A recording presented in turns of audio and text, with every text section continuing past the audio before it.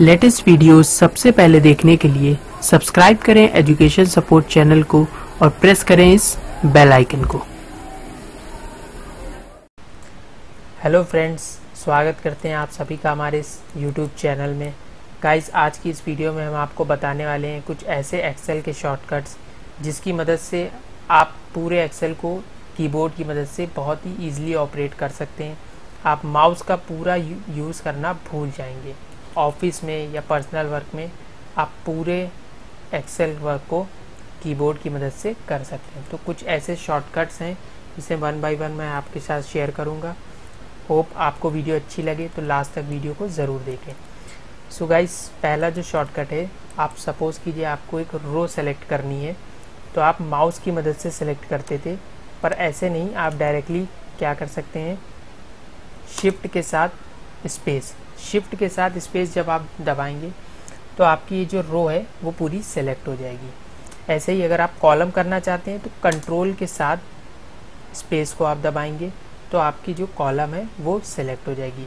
और अगर आप इसे बढ़ाना चाहते हैं, जैसे शिफ्ट के साथ आप इसे आगे वाले आइकन एरो को क्लिक करते जाइए, ये आपका जो है कॉलम वो सेलेक्ट होती जाएँगी। तो ये था हमारा पहला शॉर्टकट दूसरा जो शॉर्टकट है, बिना माउस के आप फ़िल्टर लगा सकते हैं। आप इसे पूरा सेलेक्ट कर लें शिफ्ट के साथ सेलेक्ट करते जाएँ और कंट्रोल दबाएँगे तो एक बार में ये आपका लास्ट तक सेलेक्ट हो जाएगा।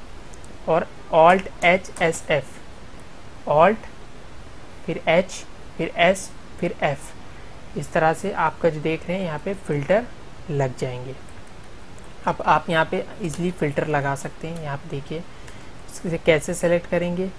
ऑल्ट के साथ नीचे डाउन का एरो यहाँ पे आएगा और इस नीचे आएँगे और स्पेस से आप इसे सेलेक्ट करेंगे। स्पेस बार से जितने भी आप सेलेक्ट करना चाहते हैं, यहाँ पर आप सेलेक्ट कर सकते हैं। जितने भी।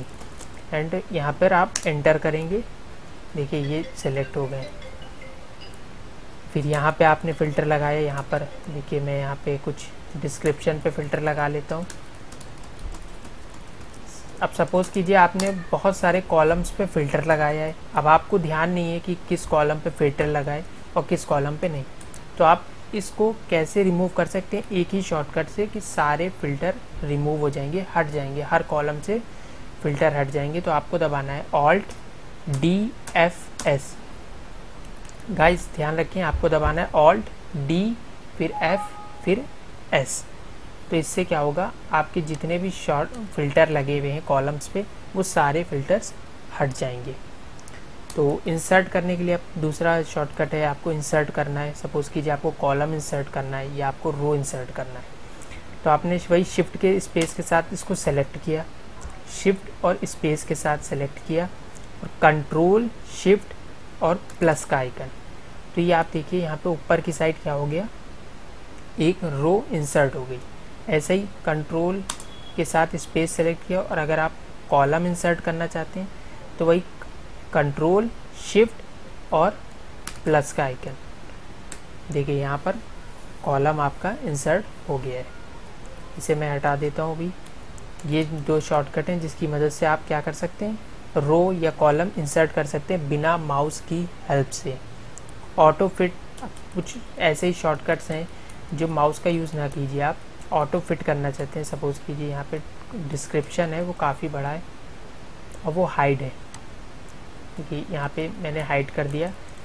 अब उसे आप माउस की मदद से बड़ा करेंगे, इस तरह से ना करके आप इसको सिंपली सेलेक्ट करें कंट्रोल शिफ्ट के साथ और ऑल्ट एच ओ आई जैसे आप इंटर करेंगे तो ये ऑटो फिट हो जाएगा।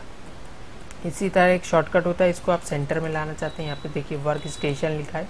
इसे मैं सेंटर में करना चाहता हूँ। तो ऑल्ट एच ए और सी जैसे आप दबाएँगे, यहाँ पे सेंटर में आ जाएगा। तो ऑल्ट और एच के साथ देखते हैं, आप ऊपर की साइड बहुत सारे फ़ंक्शंस ओपन हो जाते हैं। जैसे ए एल देखिए यहाँ पे A L A C A R धीरे धीरे जैसे ही आप माउस के बिना इसको यूज़ करेंगे ना तो धीरे धीरे आपको सारे शॉर्टकट्स कीबोर्ड से कैसे चलाना है, वो आपको ऑटोमेटिकली याद हो जाएँगे। फिर आपको माउस का यूज़ करना ही नहीं पड़ेगा।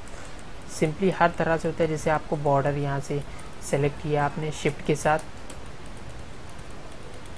और यहाँ पे आपको बॉर्डर रिमूव करना है। तो ऑल्ट एच बी और एल देखिए बॉर्डर रिमूव हो गया। दोबारा आपको लगाना है। तो आपने दोबारा इसे सेलेक्ट किया ऑल्ट एच बी और ए देखिए यहाँ पे बॉर्डर जिस सेलेक्टेड जितना भी मैंने सेलेक्टेड से सेल्स वहाँ पे बॉर्डर लग चुका है। अब अगर आपको ओवरऑल शीट सेलेक्ट करनी है। तो आप कैसे करेंगे गाइस ओवरऑल शीट तो जैसे पूरी शीट जिसमें डेटा हो, जैसे यहाँ तक डेटा है ए एस तक। देखिए यहाँ पे देख रहे कॉलम का नाम ए एस और नीचे अगर जाते हैं कंट्रोल के साथ नीचे जाएँगे तो एक बार में पहुँच जाएँगे। देखिए यहाँ पे। तो इसे कैसे सेलेक्ट करेंगे? आपको सिंपली दबाना है कंट्रोल शिफ्ट और स्पेस तो जितने भी सेल में आपका डेटा होगा, वो सेलेक्ट हो जाएगा। आप उसे फिर कॉपी कीजिए कट कीजिए पेस्ट कीजिए, जो भी करना चाहते हैं कर सकते हैं। एक बार में आप इस शॉर्टकट की मदद से पूरे डेटा को सेलेक्ट कर सकते हैं। नीचे के साइड कुछ शीट्स हैं, इसमें कैसे आप अप डाउन करेंगे तो आप कंट्रोल के साथ पेज अप पेज डाउन करेंगे तो यहाँ मूव कर सकते हैं। अप करेंगे तो बैक साइड जाएगा डाउन करेंगे पेज डाउन कंट्रोल आप प्रेस करे रहेंगे। अप डाउन करके आप शीट को चेंज कर सकते हैं। शीट अगर नई इंसर्ट करनी हो तो आप क्या करेंगे? सिंपली दबाएँगे शिफ्ट और F11 शिफ्ट और F11 देखिए एक नई शीट आपकी इंसर्ट होगी। तो बहुत सारे शॉर्टकट्स हैं। अब इस वीडियो में मैं आपको सारे शॉर्टकट्स नहीं बता सकता, क्योंकि वीडियो काफ़ी लेंदी हो जाएगी। तो जितने भी कॉमन थे, जो मुझे लगा जो कॉमन है, जो आप अपनी डेली लाइफ में यूज़ करते हैं, वो मैंने सारे ओवरऑल इस वीडियो में कवर करने की कोशिश की है। एक वीडियो मैं आगे आपके लिए बनाऊँगा इसमें मैं आपको सारे शॉर्टकट्स वन बाय वन बताऊँगा। तो गाइज़ कैसी लगी वीडियो मुझे ज़रूर कमेंट बॉक्स में बताएँ और वीडियो को लाइक करें शेयर करें। मिलते हैं हम अपनी नेक्स्ट वीडियो में।